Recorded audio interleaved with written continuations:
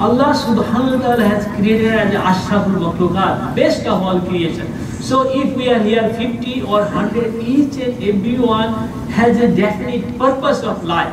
Each and everyone, every day we are living, we are living our legacy behind. heart. So how do we get the pleasure of Allah subhanahu wa ta'ala? And that's what Allah subhanahu wa ta'ala said that in the Surah Al-Fajr, A'udhu Billahi Minash Shaitan, Ya ayyatuhan النفس المطمئنة ارجعي إلى ربك راضية مرضية فادخلي في عبادي وادخلي جنتي.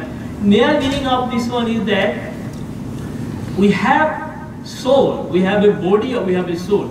Allah subhanahu wa ta'ala is addressing Ya ayyatuhan nafsul mutmainah. This is a soul who is pleased with Allah subhanahu wa ta'ala before his death. That means his desire is the same as what Allah subhanahu wa ta'ala wants us as a purpose of our life.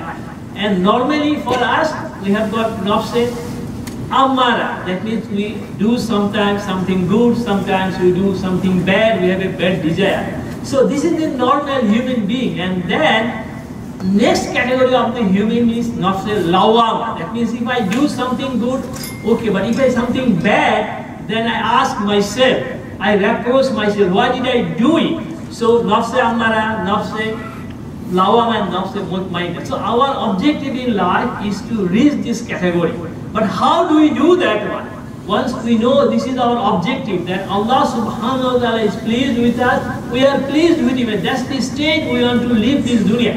That's the Salihin deed, that's the Sahaba's mind deed. And that we can all strive.